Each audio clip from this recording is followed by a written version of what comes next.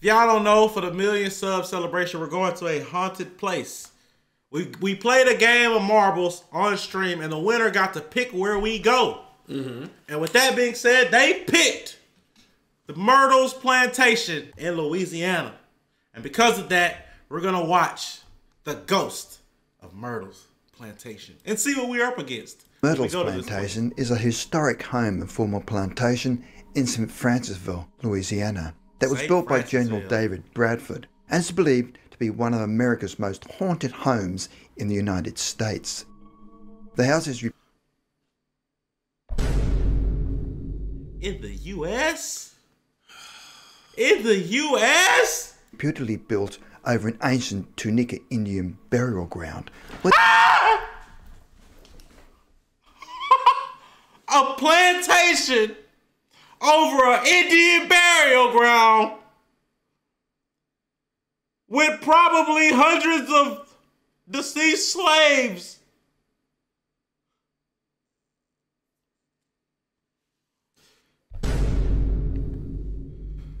where the ghost of a young Native American woman has been seen. The plantation is apparently home to at least 12 ghosts, when it is reported that in its history at least 10 homicides occurred in the house. The original house was built in 1796 and has 22 rooms spread over two floors. The large entry hall runs the length of the house. Okay, a house with 22 rooms is insane. Well, it's a plantation, but damn.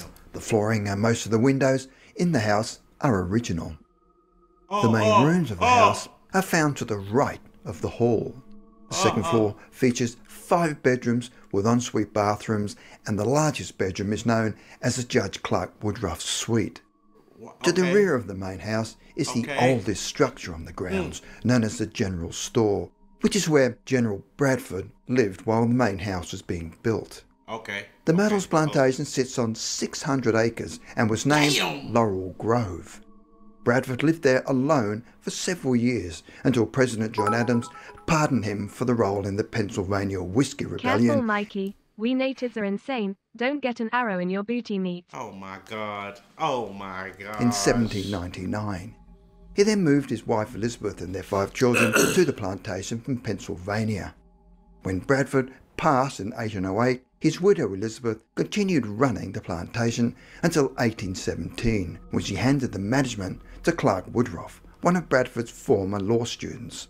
Woodruff Jesus had Christ. married their daughter, Sarah for. Matilda, and had three children. We're done for, bro. It is believed that Woodruffs had a slave called Chloe, where it is claimed that Clark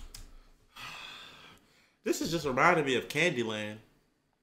Django, This this just one question. This one question. right? Why didn't you pick a slave picture? Why'd you use a black woman as a black woman as general? That is a great question. That is a, it's a random black woman. It is believed that Woodruffs had a slave called Chloe, where it is claimed that Clark Woodruff had forced Chloe into being his mistress. Oh my god. Another story involving Chloe was that at one time she was There's plenty of pictures of sla- enslaved. There's plenty of drawings, pictures, material, stock with like that you could have. There's if there's pictures of Harriet Tubman, there's pictures of slaves. Come on, man. in a keyhole and learn news of Clark Woodruff's business and other secret dealings. Chloe was unfortunately caught, and one of her ears was cut off, and she wore a green turban to hide it. It is claimed that Chloe Wait, wait, wait, cut off secret dealings, a keyhole, and learned news of Clark Woodruff's business and other secret dealings.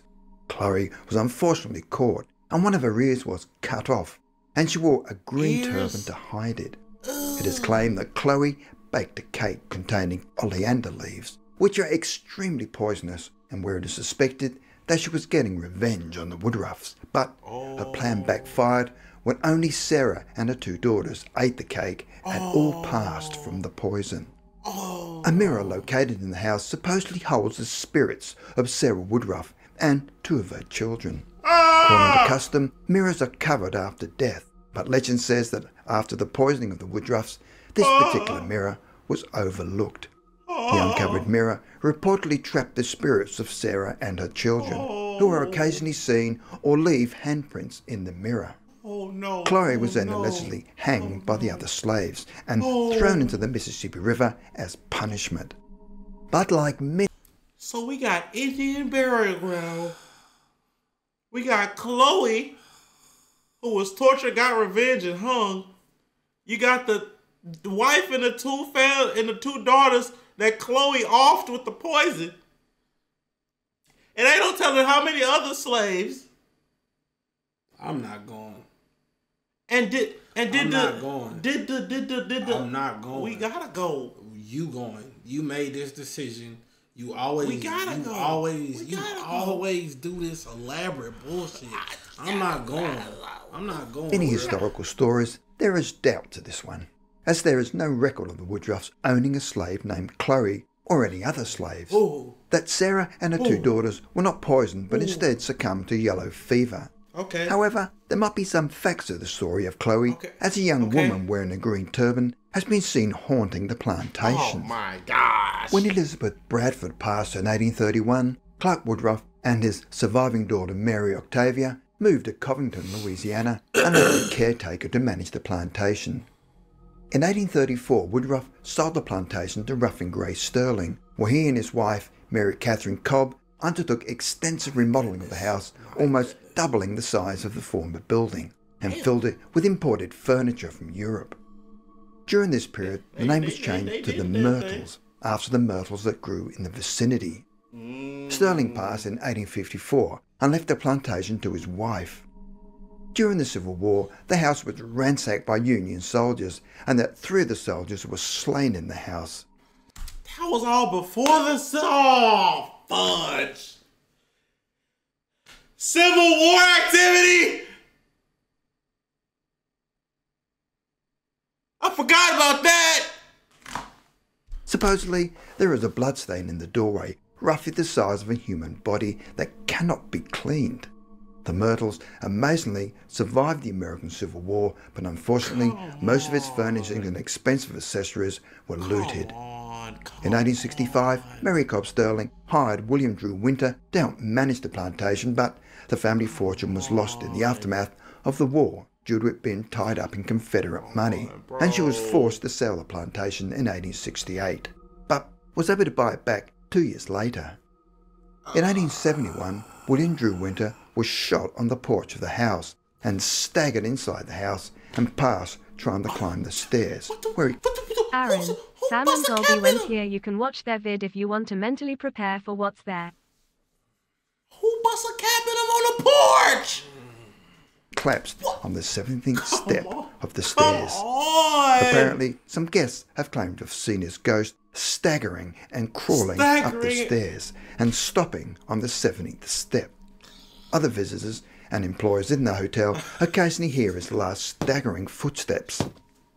In 1880, no Mary shot. Stirling passed and the plantation was inherited by his son Stephen.